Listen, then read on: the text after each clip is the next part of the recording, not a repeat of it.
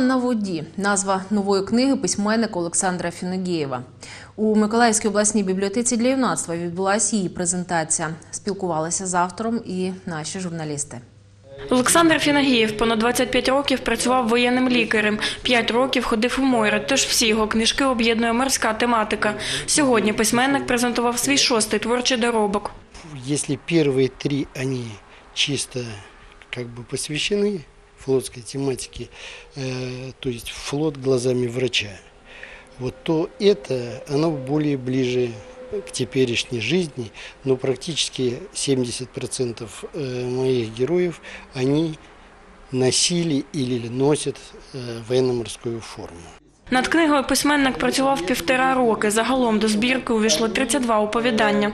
Я з захопленням прочитала їх дуже багато тих оповідань у цій книжці, але я з задоволенням їх швиденько всі перечитала, не могла зупинитися, починаючи від першого до останнього. Оскільки автор мореплавець, то на сьогоднішню презентацію запросив близьких за духом учнів морського ліцею. Мне хочется узнать, э, как будущему моряку, э, каково это попасть э, в море, как-то почувствовать себя на корабле, много дней э, не видеть суши. Наразі письменник працює над створенням наступної книги. Розповідає, що вже написав близько ста сторінок.